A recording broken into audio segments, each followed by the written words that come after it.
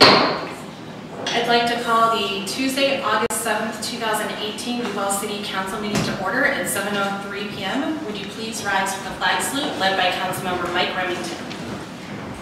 I pledge allegiance to the flag of the United States of America and to the republic for which it stands, one nation, under God, indivisible, with liberty and justice for all. Thank you.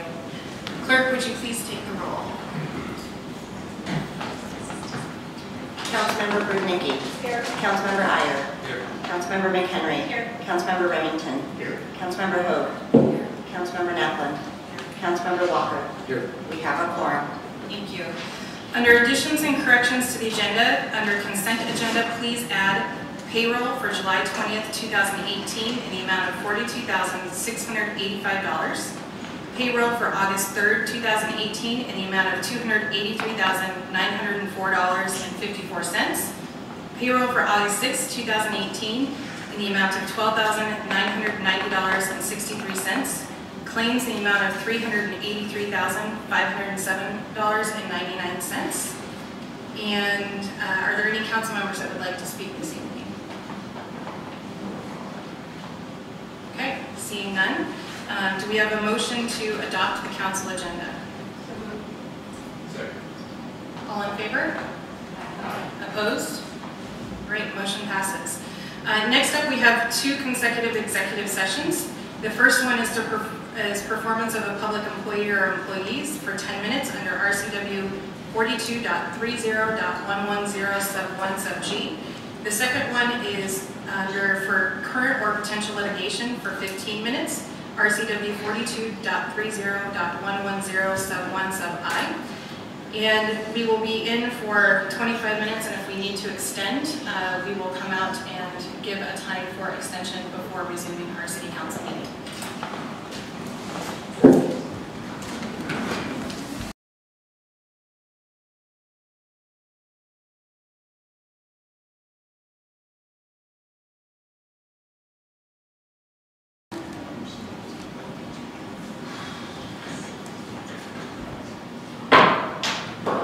I'd like to recall the Duvall City Council meeting to order at 8:20 PM. We've just come out of executive session, and with that, we have a couple of um, changes to the agenda that I would ask council to amend, uh, one of which our economic development consultant was unable to stay and will be coming back on the 21st, so I'd ask uh, council support for striking that from the agenda. And uh, I would also request, uh, if possible, if there is no um, opposition to move new business item number one up to uh, under, just after public comments, um, so that we can let our new to-be planning commissioner go home for the evening after that, if that works for everyone. Um, Are there any objections? Okay, thank you very much. All right. So with that, uh, do we have a motion to approve the consent agenda? Second. All those in favor? Aye. Opposed? Thank you, motion passes. Next item is ratification of contract, contracts under declaration of emergency. Um, One of these, to be clear, uh, the item number four um, falls within budget authority, but it's moving forward as a result of the emergency, so it's on here for transparency's sake, rather than um, actually being part of the emergency. Um, So with that, uh, as in the previous meeting, I would like to ask for a motion to ratify contracts under the declaration of emergency. So moved. Do you have any discussion? Okay. All those in favor, please signify by saying aye. Aye. All those opposed, say nay. Thank you, motion passes. So next up, we have comments from the audience this evening. Uh, If there's anyone from the audience that would like to speak on any topic, you may approach the microphone. Uh, You'll have three minutes to speak, and we'll need a name and address from you. Is there anyone that would like to speak?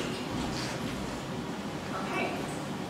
Seeing none, moving on uh, to Agenda Bill 18-48, confirm Mayor Ockerlander's appointment of Mike Supple to the Duvall Planning Commission, position five, a vacant four-year term ending 12/31/21. Do I have a motion? All right, do we have any discussion? All those in favor, please signify by saying aye. Aye. All those opposed, say nay. Congratulations, Mr. Supple. Would you like to approach the podium and provide a uh, short statement? Welcome to the Planning Commission. Well, thank you, uh, Mayor and uh, Council, for giving me the opportunity to serve the city of Duvall in the capacity as planning commissioner. I've uh, lived here for almost 25 years, um, and uh, the growth of Duvall and the- and the opportunities that I see um, here for me, my wife, um, children, grandchildren, uh, are something I look forward to serving this city for. Thank you. Thank you, congratulations. So in scheduled items, um, I have a relatively brief report this evening. Uh, First of all, uh, as you know, we we did interview folks from the planning commission. We had four applicants, a few of whom were actually re-applicants. Um, It was a tough decision, uh, but we're very excited to have recommended Mr. Supple to the council for confirmation, and so thank you to council for that. Uh, Additionally, I uh, attended about a week and a half ago uh, a WCIA training uh, called Employment Law for Supervisors. Uh, It was an excellent training, and it's part of my ongoing efforts, as promised as mayor, to continue education and do everything I learn um, and make sure I'm up to date on the latest training and laws uh, to help manage the city efficiently. Uh, Puget Sound Regional Council, we also held our meeting a week before last uh, and moved forward uh, several transportation projects for approval for the annual program. Um, Staff and I also held a meeting, which Ms. Thomas will give a little more update on, uh, with the Department of Ecology uh, last week um, to discuss issues uh, our reporting and uh, we had a very positive uh, meeting that is reestablishing relationships with the department and looking forward to that continuing on. As you know, uh, we're working hard on the budget, so I apologize that I was out for National Night Out this evening um, and wasn't able to attend the committee of the whole. Um, If you have any follow-up questions regarding the budget process, please let me know. I'm happy to answer them. Um, And it's going to be, you know, it's new for five of you, um, but since we're a biennial project process this year, it's new for all of us. And so we'll all be going through some learning process together. Um, So I encourage you to be open with your questions, feedback, etc., so that we can get through the process smoothly this year. Um, Finally, uh, I'm pleased to report that Summer Stage has been extraordinarily successful this year. We've already had more than 4,500 people show up at the first few concerts alone, which pretty much is very close to surpassing our all-time season record. Our smallest audience to date has been over 500 people in the park. Um, It's been incredibly successful, and I think that uh, a huge thank you goes to the chair of the Cultural Commission, Marlene Lambert, who has been doing this pretty much 40 hours a week in addition to her full-time job as a volunteer. And uh, she's had help from the, the commission, but really she's been the one that's put the blood, sweat, and tears into making this happen and making it successful. Um, So I'm hoping that we can do something special for her at the end of the season. Um, Additionally, I had the distinct honor and pleasure during the Austin Jenckes concert to provide him with the key to the city. Uh, The purpose of that was that he truly is uh, a homegrown talent. Uh, He still exemplifies what it means to from Duvall and Duvalian. And he was instrumental in helping raise money for the stage and continue to grow support of the arts in the city of Duvall. Um, So that was quite a pleasure. He's a wonderful person. Uh, We got to uh, take him out to dinner afterwards, and uh, he- he really, really exemplifies this community. And um, so we're, I think we're really lucky that he continues to come back and support the arts here. So with that, that's the end of my report this evening. Do you have any questions? Thank you. And so moving on, we do not have any council reports, um, and we will have a report from the Deputy City Administrator, Ms. Laura Thomas.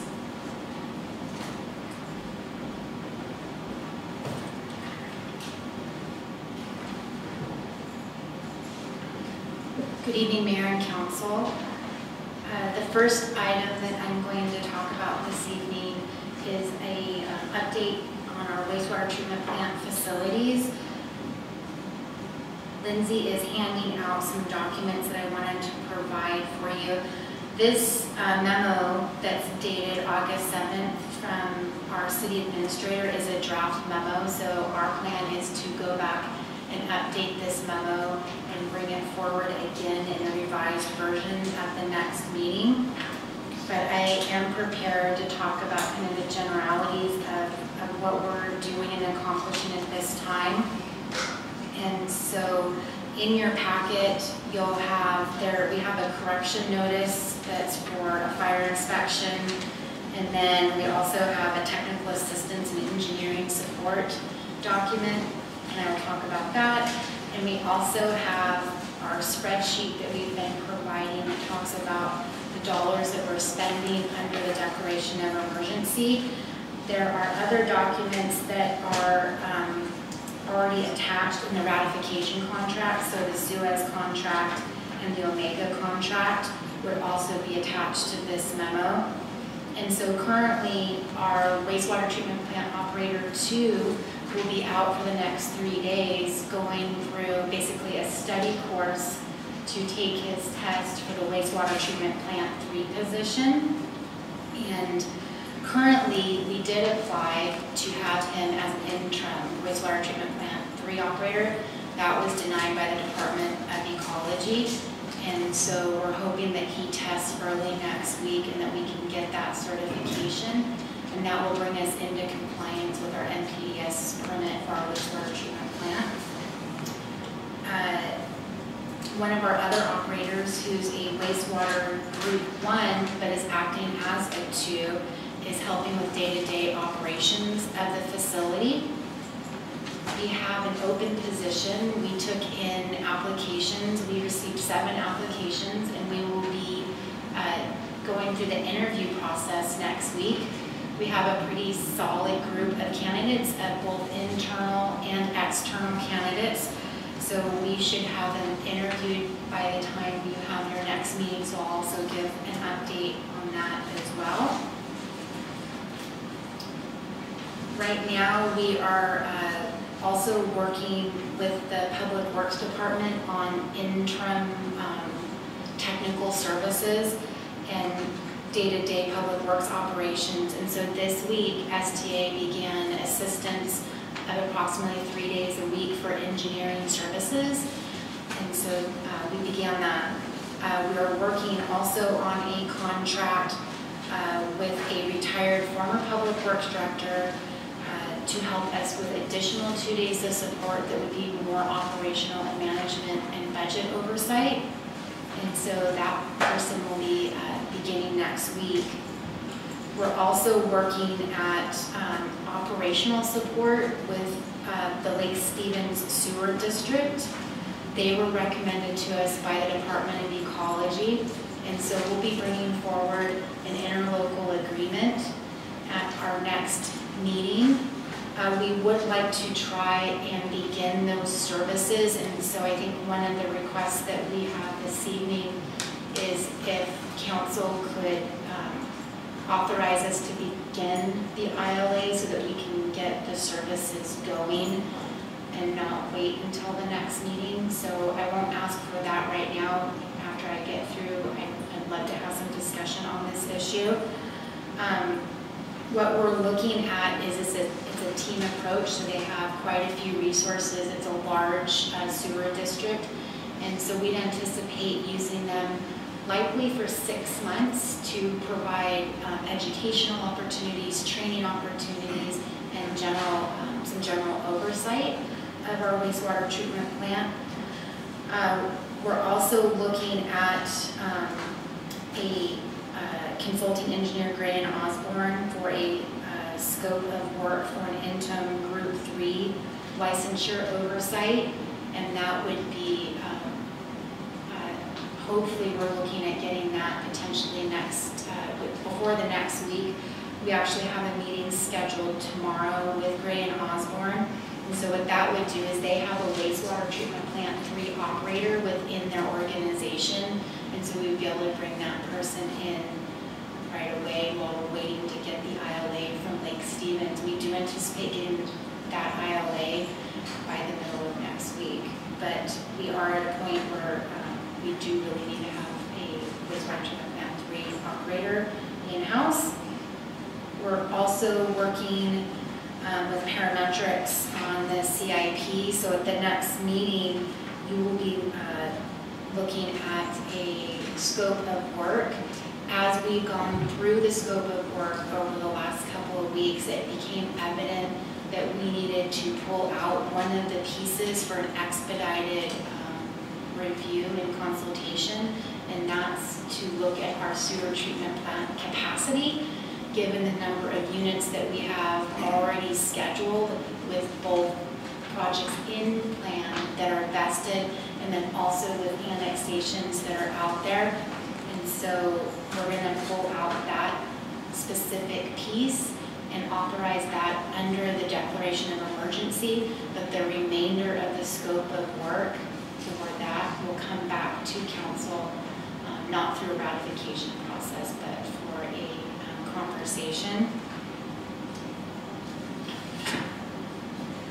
Uh, Gray and Osborne is also uh, being looked at as potentially um, a third-party reviewer of work um, that is done um, by Parametrix, and so we'll be talking with council about that as well, and including that group three operator that, that we're in need of um, right now.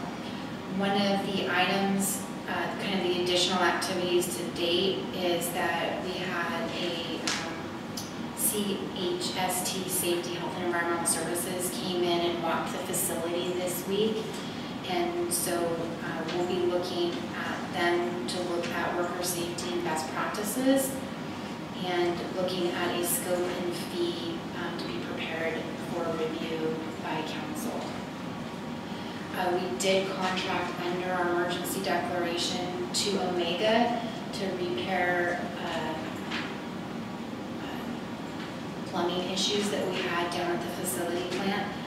And that was in the citric acid room. And so that work has been completed, but we're also looking at how them doing some work at securing our deck and reducing opening sizes, which is the steel plating at the, at the wastewater treatment plant. We have a twenty thousand dollar not to exceed contract with them, and so we should find out if they can do it under that existing contract, or if we need to come back to council. Um, we're also, uh, we, and this has already been completed, is, uh, we have a, a report that's the, uh, safety for, this is essentially a fire, a fire district review. And so we, I received this today, and so we'll be going through it at an administrative level. We will be working with the wastewater treatment plant staff and public works staff to go through this list and start prioritizing what and where we're going to start. And so it's a fairly um, lengthy list of what, um, over 30 items. And so I'll be reviewing that over the next couple of days and setting up meetings to start going through that because there's, there's always low hanging fruit. Um, So that is somewhat the conclusion. This is a draft document. We'll, you know, we'll update it for the next meeting, but I wanted to make sure that I, that I do leave time for taking questions from the council. And then we're also requesting um, authorization to at least start the work under the ILA and bring it back either for ratification or we can, we can bring it back through the regular process. But we do want to make sure that we're continuing to progress, make progress forward. Does anyone have any questions for Ms. Hollis? Councilmember Walker. Um, so, Osborne, I'm aware of it, onto a different document. It said something about a capacity analysis to be done.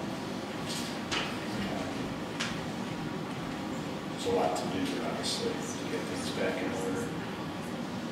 Do we know approximately when that might happen? Uh, Yes, Councilmember Walker, we have um, um, administrative staff is working with public works staff on that scope of work. I reviewed it and provided comments to the department yesterday, so they're in contact with Parametrix. And once we get that scope of work, then we can move that part of the analysis forward. But we felt that that was an early piece that we needed to clearly have information on sooner than later. So what do you think? I mean, Basically, need to get the contract somewhere, do you think it might be in a couple months, three months, or end of the year? Uh, No, but the- I'm working, actually, um, Larissa, can you, I'm gonna ask Larissa Granville to come up as well, because she is, I'm working directly with her. My understanding is, is that we'll likely uh, sign that contract as early as next week and begin that work.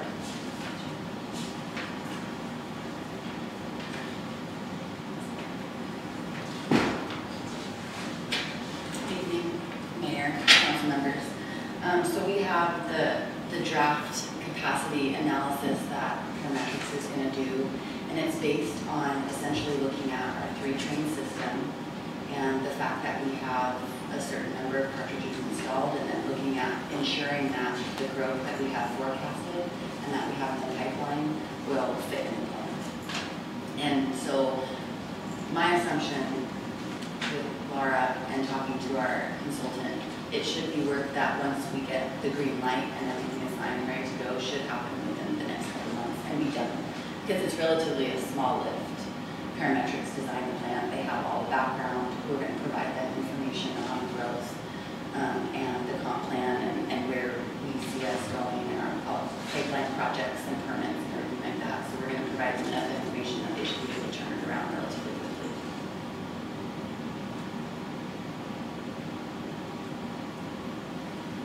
Any other questions? Mr. Rick? A similar question, so they'll let us know whether the plant can handle the planned growth, but can they tell us how much growth looking forward? I mean, that's a piece I'd really like to know about, not just that it can handle the next year or two, but what, what's the capacity total? Yes, and that's a very good question, thank you, Councilman Wellington. Um, so the plant was designed for a four-train system with, you know, full capacity and a relative build-out and population of approximately eleven thousand people in the city. So we're relatively confident that the way that it's operating now and the capacity that we have in the next five to ten years will be adequately served by the plant. Another thing that um, this information is going to give us is it's going to give us a plan as to how do we effectively manage that growth and make sure that we're managing that capacity effectively. So making sure that we plan to add the cartridges and plan to do the plumbing for the fourth train in a good amount of time rather than it being at the last minute and saying, hey, we have to do this now.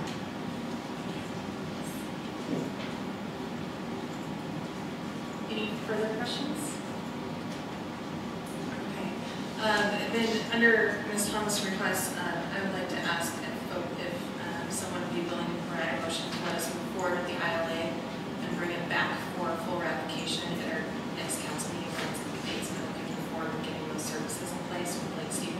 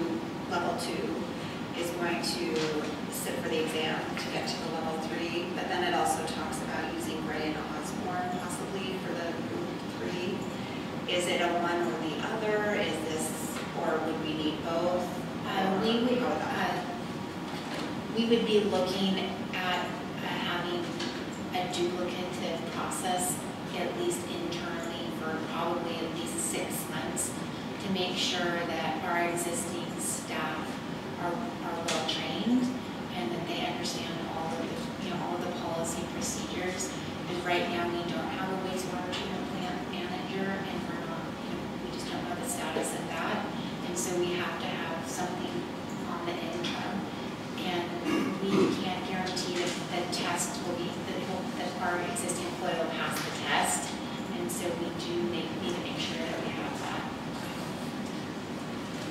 That's under the water. Sorry, just a procedural question. So the agenda bill for this There is not mentioned about this point. The status of the interlocal program is like Stevens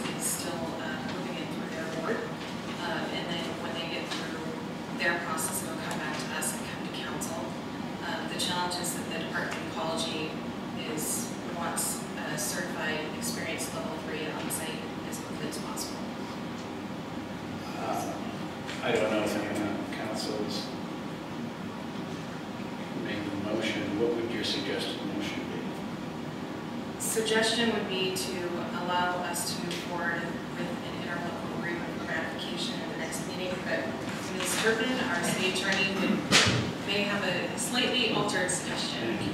I do this a lot, these pre-authorizations. So what I would go with is, I would move to authorize the mayor to execute an interlocal agreement with the entity, say, Lake Lake Stevens. Stevens Sewer District, to provide blank services, whatever, however you want to word it. Enter Into an interlocal agreement. I guess I don't have to be grammatically correct, right? Mayor Meyer? Is there a thought that, Lake Stevens um, Sewer District. that they're not gonna proceed until we pre-authorize an interlocal, or, I mean, I don't, I don't foresee a- a lot of objection on the council's part, but it would seem as though this could be brought without a motion back to the next council meeting, once it's written. That is absolutely true, but the issue that you possibly could run into is that, let's say it's done the day after your next council meeting, and then you have to wait another two weeks to bring it forward, if you're supposed to get one of these, these goods on the ground as fast as possible, this is a way to expedite it. Another option you can do that, if you worry about costs, is you can, uh, set a not to exceed amount uh, motion that you make, and that, there's parameters on it. I'm pretty sure that no one in ecology would agree to a- an interlocal without reading it.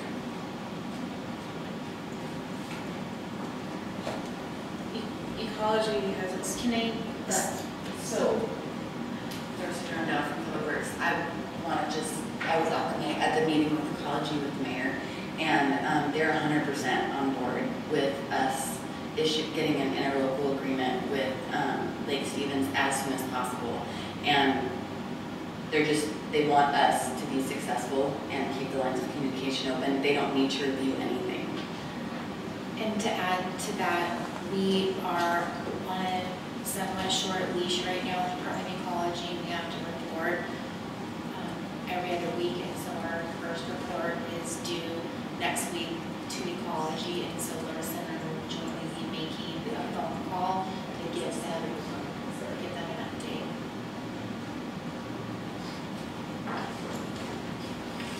My point is mostly speaking to the, um, without reviewing an agreement, most reasonable individuals would not expect um, to follow through with it or. So I I would, I, I'm not in support of, of pre-authorizing an interlocal agreement without reading it. I certainly understand the concern. Um, We are, did let the Department of Ecology know that we would try and do it this way. Um, I don't believe they'll be happy if we don't, um, but that will, it's up to council. We decided to bring it forth and make that request, but it is your decision as a legislative body. I want to proceed with that or not. But we do need some level of direction um, in order to determine how, our next steps are. Councilmember Brittany Key. So, um, I would understand and agree with uh, Mayor Pro Tem Meyer. However, as I read it, you're authorizing you, the mayor, to enter into this interlocal agreement. So I have trust that the decision-making that you'll be making for this should be in line with, with what I support. So I, I don't really, I'm considering the state of emergency that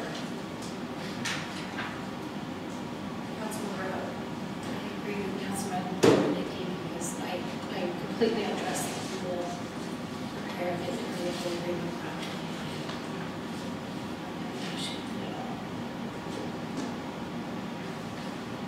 Councilman Walker. The Attorney's suggestion, what type of cost range? Unfortunately, I don't know at this point because I haven't been involved in the discussion or the scope of work. And I can make, you know, obviously I'll be making contact at this point, and Bruce and I will be points of contact for, for this ILA, but I fully expect that we will vet it through Rachel prior to, you know, requesting it, it be signed and or ratified. Okay.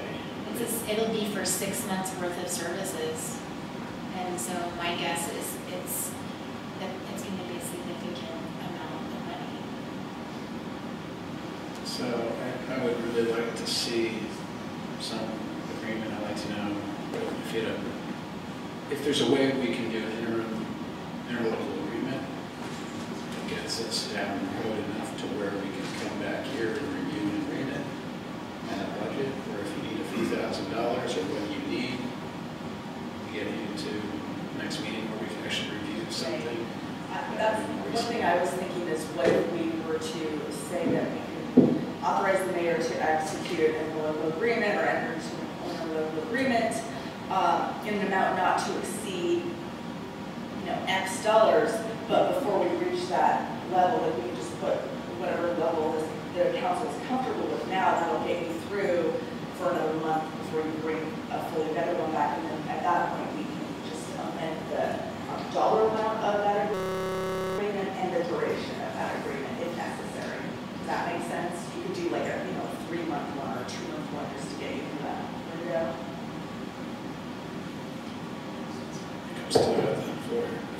Um, yeah, I would like to see the agreement as soon as we could. Um, I guess then back to the question, maybe you, if you need to think about this, what is the amount of funding that would get you through a month or so?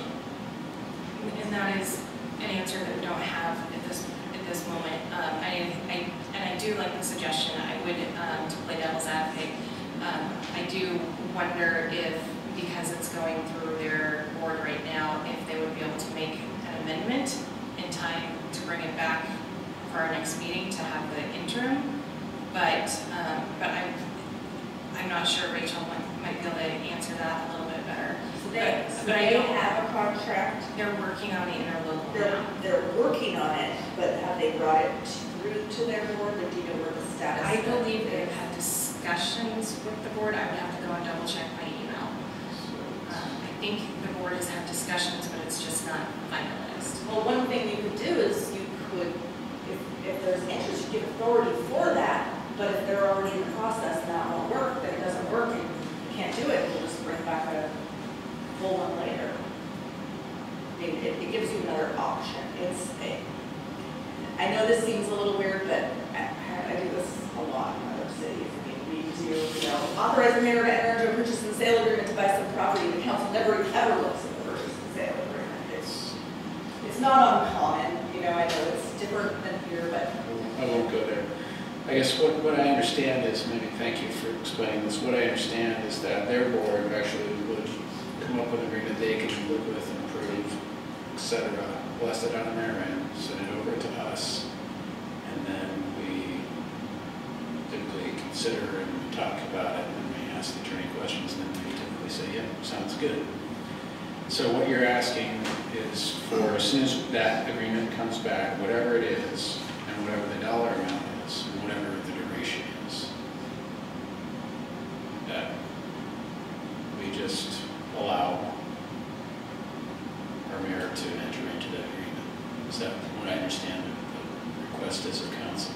That's a little bit different than I was understanding it originally. I, I did not realize that maybe their, their board has an agreement that they're already working on. And my recommendation would be to authorize the mayor to execute an agreement with them. It may not be the full meal deal agreement that we're talking about that will come forward eventually, but sort of a shorter duration agreements. And then we're going back to Last question then. So the mayor has uh, a spending authority of two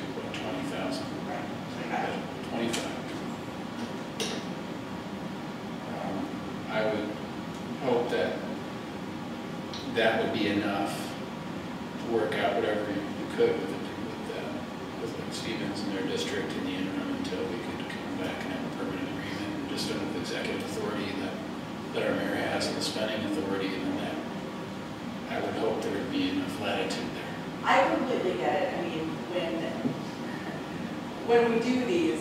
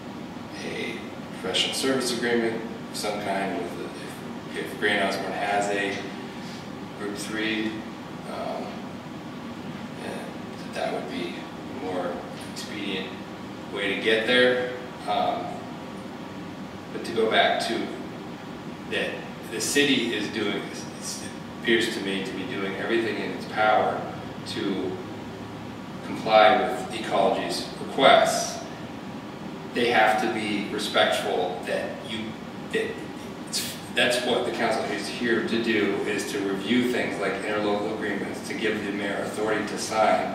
And it's an unreasonable expectation, in my opinion, for ecology to expect us to enter into an agreement that we have not read or do not know the cost of.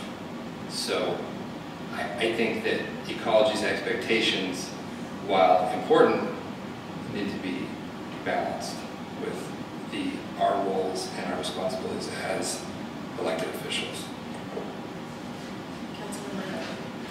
couldn't we put in the motion that it's just a short-term temporary one until uh,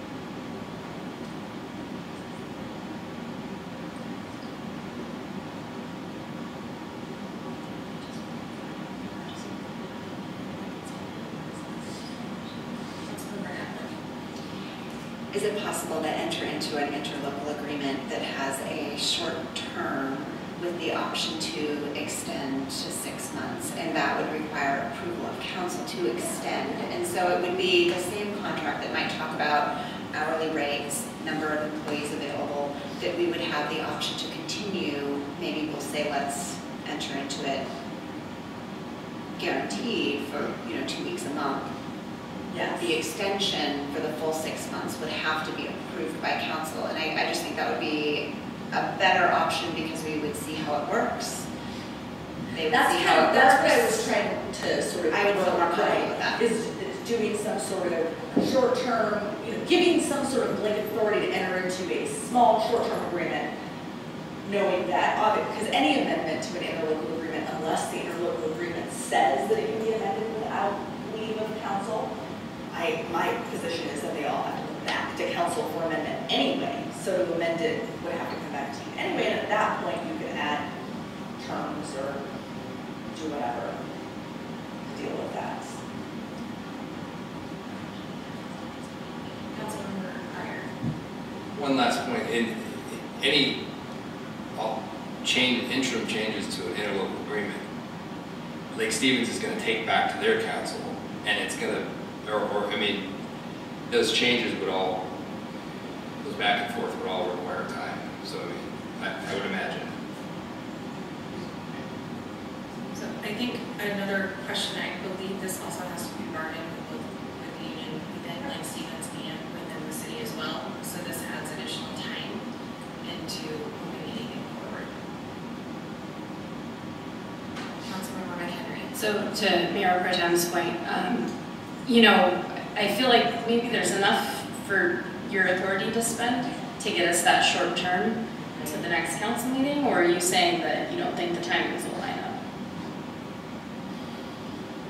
At this point, I'm, I'm not sure. Um, There is, uh, this was being worked on by uh, another staff person. Um, And so I do not have all of the details um, at my fingertips. And I have not seen the original draft. and I'm not sure that that staff person has seen the original draft yet. Um, It'll probably be a little bit delayed due to recent departures, I would say. Yes, so, um, it- and, you know, I recognize, and trust me,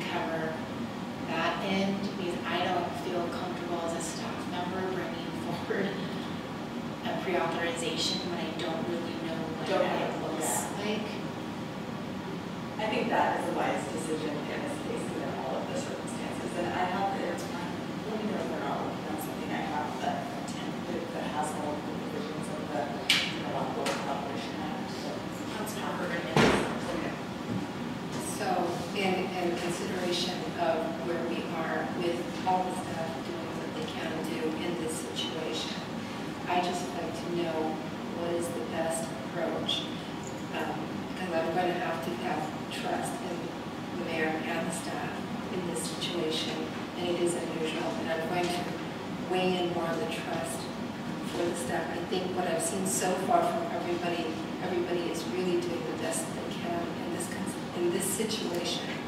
They're doing the best that they can, so I'm going to lean on that, and put my faith in that for now.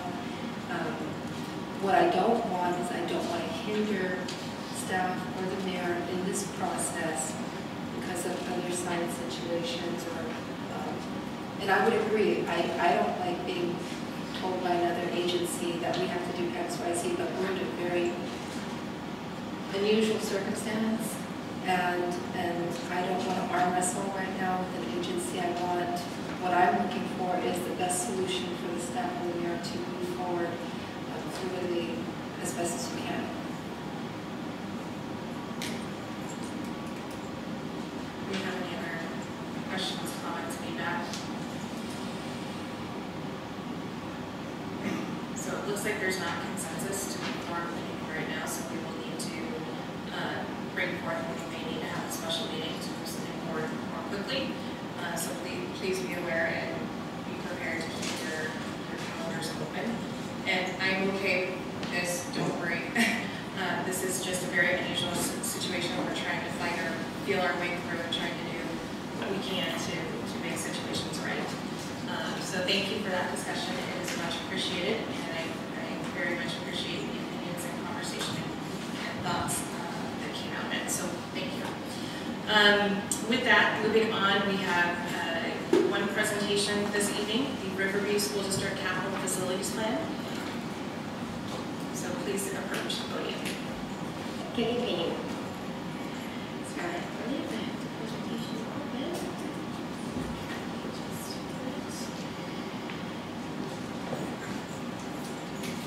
So it's that time of year again for our capital facilities plan, and I basically just put a presentation together um, for you guys, just highlighting some of the changes this year and just basically going over some spreadsheets um, and to answer any questions that you guys may have. Um, so this year's capital, just a quick overview of Riverview School District. We're about 250 square miles. We service uh, King County, City of Duvall, City of Carnation. We have approximately um, 3,277 students, K through 12, as a head count. Um, Our schools are Cherry Valley Elementary, Stillwater, Carnation, Eagle Rock, Multi-Age, um, Tolt Middle School, Cedar Crest High School, and the Riverview Learning Center. Um, so that's just a quick overview. Um, enrollment trends and projections for this year are a little different than last year. Um, I don't know if you guys remember last year's plan, or if you were involved in any of that, or, or read last year's plan. We uh, were a little more conservative as far as our enrollment was concerned. We estimated um, growth at 1%. This year, we're a little more aggressive and went at a 2%. Um, so when we're looking at enrollment, our most recent information is as of May 2018 because this has to be prepared and approved and reviewed um, by June. So we use the most current information, which was May. Um, we have some variations in kindergarten, first, second, and 11th and 12th grade. Um, a lot of that is because we really don't know what's happening with kindergarten and who's coming in. Um, and then, of course, we have some changes in first and second grade. We have some more kids who are coming in who may end up kinder somewhere else. And then 11th and 12th grade, we, we tend to see drops in enrollment due to Running Start and other programs that kids tend to go off onto. Um, we decided to increase our enrollment uh, based on, um, we're hoping for an increase in kindergarten enrollment um, this year. Uh, we took into consideration the local growth in housing developments, and we're keeping our fingers crossed and hoping that those homes bring in more students. And um, we've also seen uh, significant decreases in students attending other districts. Riverview School District is becoming more popular, and you know we're definitely a lot more successful, and we have great reviews in our community. So a lot of parents are choosing to keep our kids in district, and you know have them attend public schools instead of private schools. So um, actual for 17, 18, um, we're looking at 3,277 students. That's where, where we are right now, as of where we were as of May. Um, and then estimates, like I said, we're moving forward about 2% growth. If you look at our projections from 17, 18 to 20, 23, and 24, and you see that we're going from 3,277 to 3,559. Um, we're, we're not just looking at the numbers, and this is, this is something that I need to explain because this can be a common misconception. we're not just looking at numbers as, as they roll across and just adding two percent across. We're looking at first, kindergarten going to first grade, first grade going to second. So we have movement in classes, and then we're also taking into consideration that there is a decrease in our junior and senior year. So, um, we're, as we look at the trends, um, we, like last year, I'll give you guys an example real quick. Last year, when we were standing here in this podium, we had uh, projected that um, this current year would be at 3,286. That's, and we're at 3,277. So we missed our mark by nine. And that's at 1% growth. So even though we're seeing all the growth in the community, we are not seeing the students come through the doors. So we're moving forward and projecting 2%, like I said, aggressively in hopes that the growth in the city um, will definitely bring in more FTE. If that's not the case, and if we miss our mark again next year, we might have to cut that on our projections. Um, but we did want to be a little more aggressive and a little more hopeful moving forward. And keep in mind too that when we, as a school district, do our budgets, we do it based on FTE, which is full-time equivalent, which is the amount of time a student is in the chair. This is the actual students and bodies coming through the door, which is headcount, which is totally different as well. Um, this uh, spreadsheet here basically looks at our capacity. So we have permanent capacity and then we have total student capacity. Permanent capacity right now um, is built, our district basically can um, hold 2,537 students. So when we have 3,277, you're like, well, how does that happen? We get creative, we get add portables, and then we also are dealing with scheduling and um, getting creative in the classrooms and using all the space that we possibly can. So with our um, portables, um, we basically have 3,113 capacity. And like I said, we actually have 3,277, which is why we're planning and why we are hoping to build a new elementary school in um, around 2023.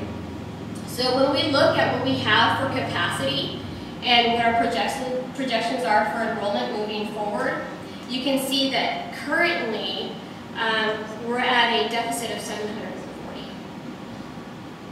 So when you look at what we plan on doing with the capital facilities plan moving forward, by 2023-24, we're looking at a deficit of 207, 272. And I'll go into, you know, what it is we're planning on doing, um, how the plans affect impact fees, and, and where we are. But this is just a basic overview of, of what we have and, and basically where we are. So with, with our portables, and um, you'll see that our capacity at 2023-24, we're at a positive 448. So those portables and our creative scheduling is really helping us out. So when we look at elementary, we're K-5, um, currently we're at a negative 282, but you'll see that in um, 1920 and 2021, we're adding um, portables to two elementary schools, so we'll be adding two more portables. Um, each portable is two classrooms, and that's about 28 per classroom, so we're, I mean, 28, 24 per classroom, so you've got 48 per portable for students. Um, and then again in 22-23, we're adding another portable and we're hoping to pass a bond in 2020 to then build our elementary school on Big Road. And we're hoping it has a capacity of 550 students, which then should alleviate some of the overload at Stillwater, Carnation, and you know, Cherry Valley and stuff. So that should give us a little more room in the classrooms. And then once that's done, then we have a whole lot more room for growth. We're looking at um, positive 317 by 2024. So that's the plans for elementary. Middle school, we are currently, as you can see, the numbers aren't really all that high. We're at a deficit of 25. Um, with, with our portables, we're actually positive. Um, we do plan on putting in an additional portable in um, 2021-22. And we do have plans for building a middle school, but that's not until um, 20 years or so down the road. This plan actually goes out 20 years, and we're only required to to report on this next six years. So our actual 20-year plan does show us building a middle school, and where, and how that's going to happen is still kind of, we're just waiting to see. Um, high school, we're at a, um, a positive surplus. We're currently at 143, and I think a lot of that has to do with, you know, what's happening with our junior and senior class. Um, and we're always taking a look at that. Um, our 2020 bond, we're hoping to, um, to grow the high school a little bit. Um, where our lunchrooms are really crowded and our hallways are really crowded, so we were having to get really creative as far as splitting up our lunches so we can get all the kids fed. So we definitely want to expand that commons area. And then in addition to that, the district is also moving forward and providing um, a great CTE program and providing kids more, more, more of vocational schooling and training so that some of our students are coming out of high school with certifications to actually have, you know, to out work.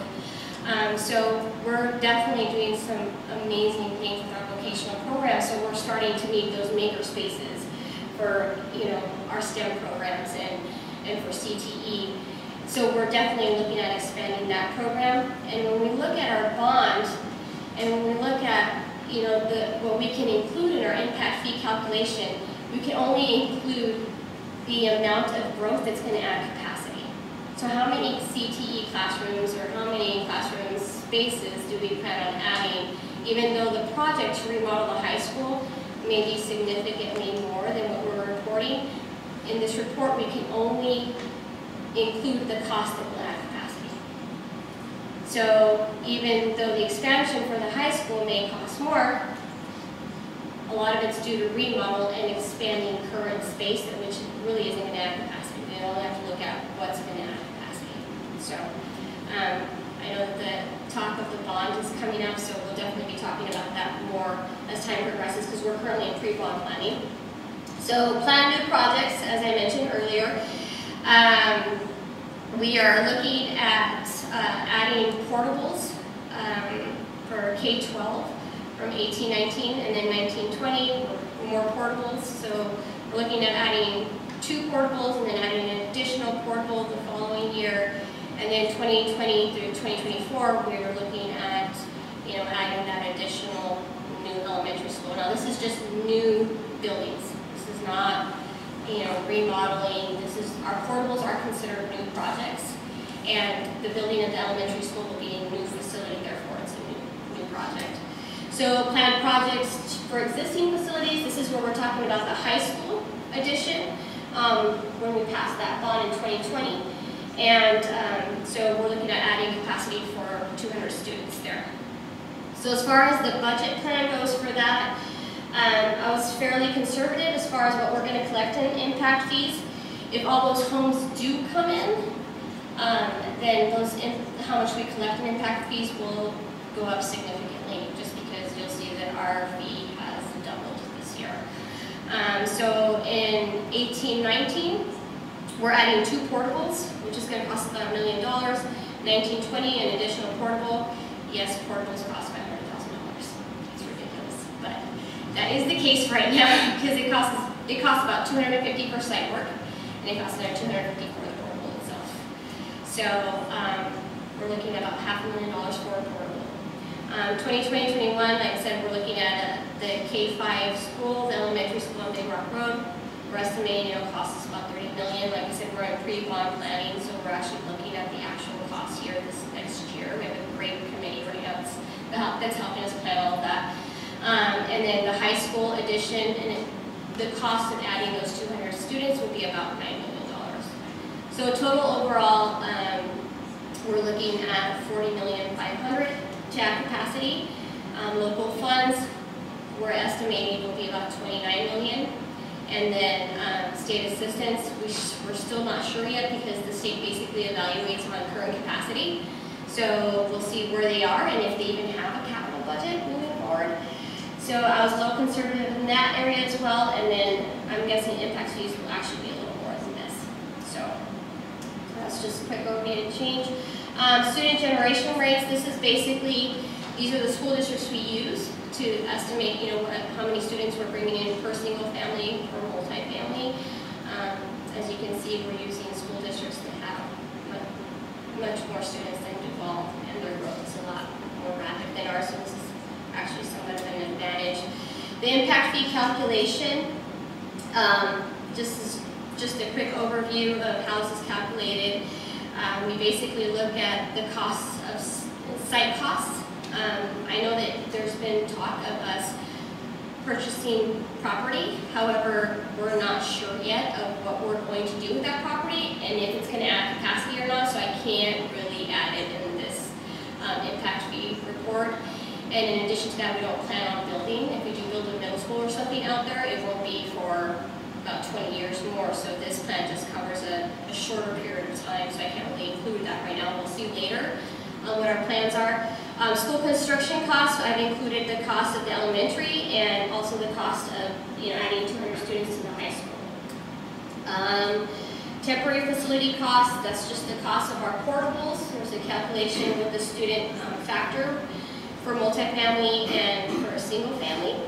And then also state matching credit. I was very conservative with that because I really don't want to assume that the state's going to give us that much money.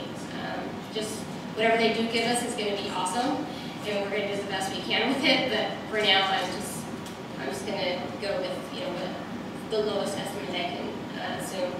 So after the calculation is complete, we're looking at a single family rate for the cities of 12,738. And for multifamily, we're looking at 3,369. That's for the city of Carnation and for the city of Duvall. Um, so for King County, we are looking at um, 8,492. And we're looking at 2,264.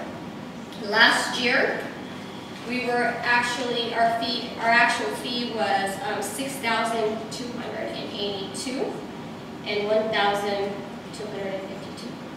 So as you can see, um, the cost has doubled this year, especially for cities. Um, our discount fee for city is now 25%, it's no longer 50%. Um, we made that change this year. And um, the fee for King County is uh, still discounted at 50%. So members in King County will pay, have a 50% discount, and those cities will only have a 25% discount. And that pretty much concludes my report. Any questions? Any questions? Mayor Pro Meyer. Thank you for taking the time and uh, dedicating uh, so much to the school district. It's evident in this, uh, in these efforts. Um, I I just wanted one quick clarification, just so I can understand. The net surplus or deficit, so the deficits you showed, so those are, could you explain that again for me? Um, So when you, when you look at that, um, that spreadsheet where we have our capacity, you basically look at the buildings and how many classrooms you have. And if you look at our capital facilities plan, you see that the average per classroom is about nineteen point seven per classroom. And then we take the amount of classrooms there is and multiply that by the nineteen point seven to see what our capacity of students is. Because a lot of the area that, um, like the cafeteria and the gym, gymnasium and librarian and stuff are not classrooms.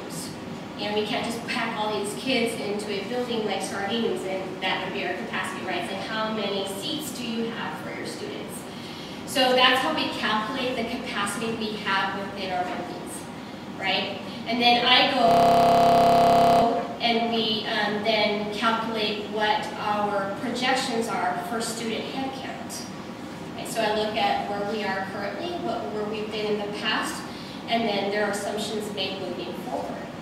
So then when we take a look at what the student count is moving forward and how many seats we actually have, that's our plus and our minus. That's our surplus or deficit that we have. Okay, um, and, and I appreciate, and I, I understand the distinction between existing capacity and added capacity. Uh, The added capacity is obviously a separate thing that feeds into the capital facility plan. But I think it's just, uh, so that, like, the negative two thirty-four in the elementary, not to focus on the negative. Yeah.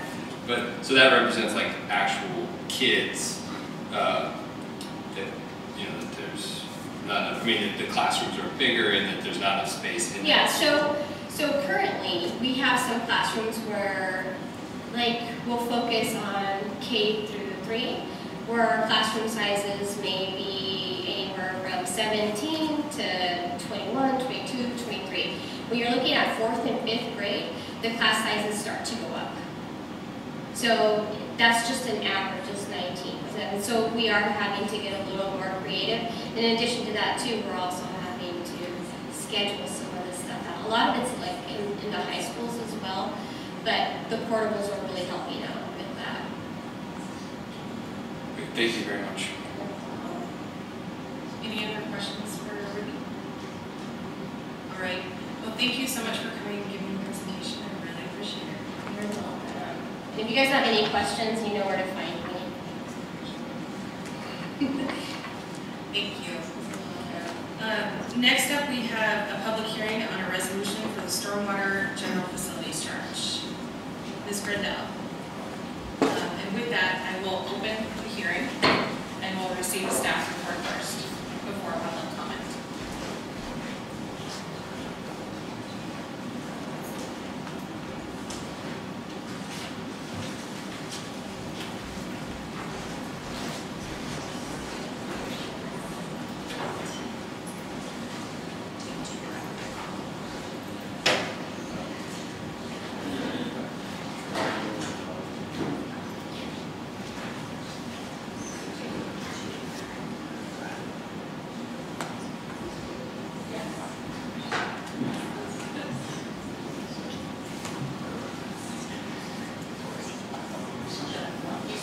Okay.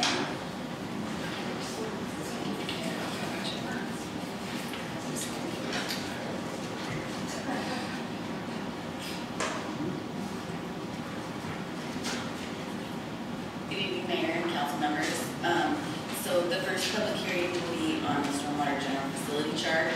It should be hopefully the one, the top presentation on your packet, and I would like to enter into the record exhibits one through four. And um, exhibit one was the staff report. Um, So the proposal and implementation of the new stormwater general facility charge um, is based on the adoption of the surface and stormwater plan um, from June 19th of this year. Um, The proposed GFC is similar to the sewer and water um, general facility charge that we currently do. Um, And identified capital improvement projects um, and their associated costs were how we came to these numbers. And I'll talk about that on the next slide. Um, The GFC was calculated to ensure that growth pays for growth. Um, It would be due for a building permit, and it would be $1,238. Um, Staff proposes that this um, GFC not be incentivized, so it wouldn't be reduced by use of LID or any, any other measures. Um, And the methodology for the calculation was based on the cap, the adopted capital improvement plan project list that was included in the storm plan. Um, And so essentially what that is, is we took um, the developer portion of the total CIP project costs and we divided that um, by the ERUs, which are the equivalent resident units, which is approximately 3,000 square feet. And that's how we came up with the $1,238 per ERU. So if it was a commercial, it would be um, applied based on square footage. If it's a single-family residence, it would be one ERU.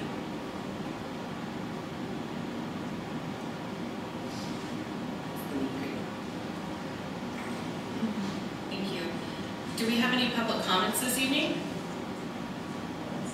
No one signed up, there's no one in the audience. All right. Um, With that, the hearing is closed, and uh, we can have council discussion now, or we can uh, discuss it when it comes time for the decision. It's up to council. It is late, yes. Okay, so hearing none, we will go ahead and move on to the next public hearing. And I will, for the resolution for the stormwater drainage acreage charge, the public hearing is now open. Ms. Grandel. Good evening. Very similar to the GFC charge. I am entering into the record exhibits one through four, and the staff report is exhibit one. So, these, uh, charges came about based on the need to update the stormwater plan. Um, the acreage charge is currently a charge that we collect. Um, it was from nineteen ninety-seven is when I believe that it was put in place, and then it, there was an escalator that was added to it. Um, and it's just since been, um, increased by the CC ENR, CCIENR escalator, which is, I think, three to five percent a year. Um, so again, it's based on the adopted plan in June, from June of nineteen, June nineteenth of this year. Um, and it was recommended in the plan that this acreage charge be incentivized based on the use of low impact development on the site, and that it would be applied to both commercial and residential the same. So hundred percent of the charge would just be if the standard, standard infrastructure, stormwater infrastructure would go, would go in with minimal attempt um, to do low impact development.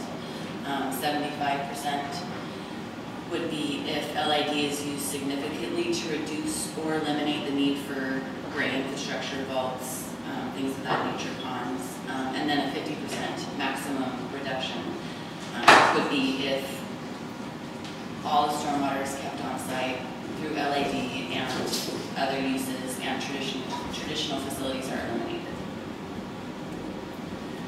Um, This charge is currently due at final plat. Um, It is currently two thousand and forty-eight dollars per acre. And uh, the proposal is to update the charge to three thousand eight hundred and seventy-eight dollars per acre. And methodology for the acreage charge update is very similar to the way that we did the GFC. Um, The only difference is, is that we divided the developer charge, um, re- the developer-related costs to the capital improvement project list. We divided that amount by acres that are remaining in the city, which gives us our three thousand eight hundred and seventy-eight dollars per acre.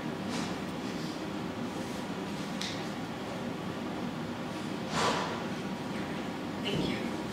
Do we have any public comment this evening? No one has signed up and no one is in the audience. So with that, the hearing is now closed. Uh, Council, would you like to do it as with the other and move this to the decision on the agendas? Okay. See head nods here. Great, thank you. Uh, Next up is Agenda Bill 18-49, DOE Grant Shoreline Master Program Update. Uh, Discussion only. Ms. Laura Thomas, Deputy City Administrator and Planning Director.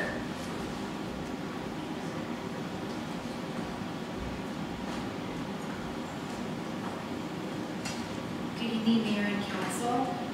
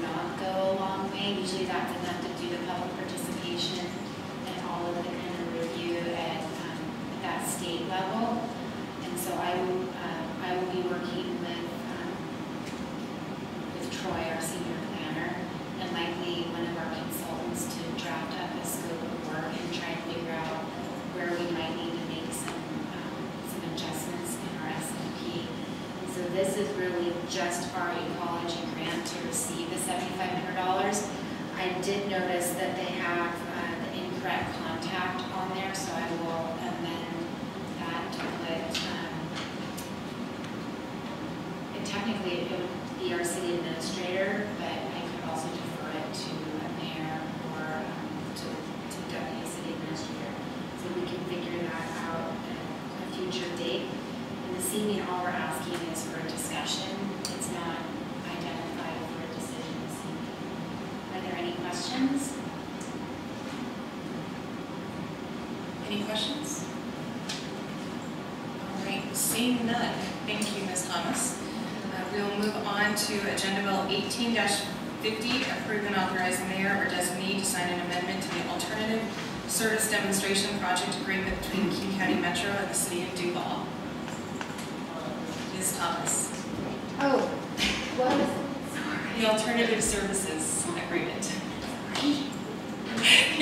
It's, a- it's been a long day. Yes, it's been a long day, my apologies. And so, uh, obviously, we've been in agreement for the, um, the community van program. And last year, we had an amendment that took us basically out of um, managing that. And that's now done by a nonprofit. And they requested an amendment to the agreement, which is in your packet. It's, it's a pretty short um, paragraph, and it basically is um, that they're not gonna allow necessarily like us, as staff to utilize it for, um, taking trips in the same way that we had, uh, used to do it. That's, did, did you guys see it in the packet? Yeah. So this is a first touch, but um, we put it in as decision just to give council the option if you want to go ahead and move forward and save a meeting, bringing it back. Um, It is up to you if you would like to propose a motion or bring it back to the next meeting.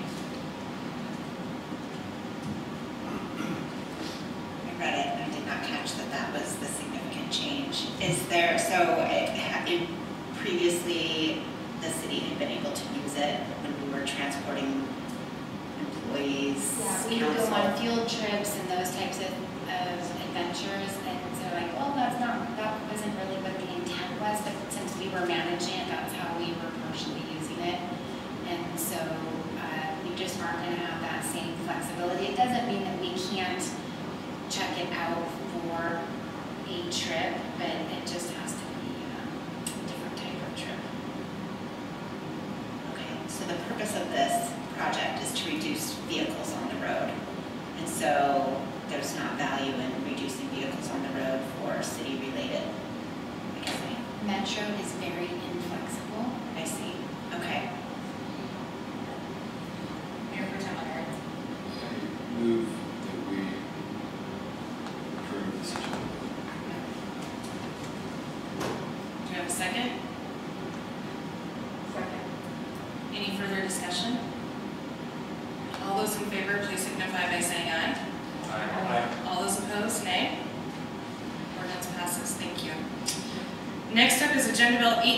51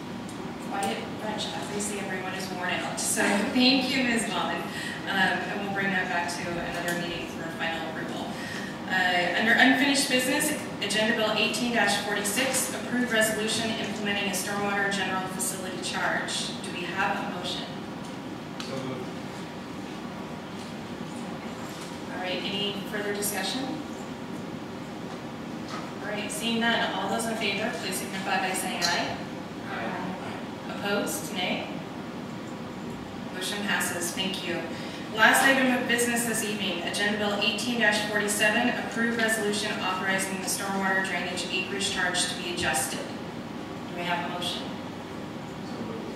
Second. Any further discussion? All right, all those in favor, please signify by saying aye. All those opposed, say nay. Motion passes. And with that, we have no further business, and so unless there is objection, we are adjourned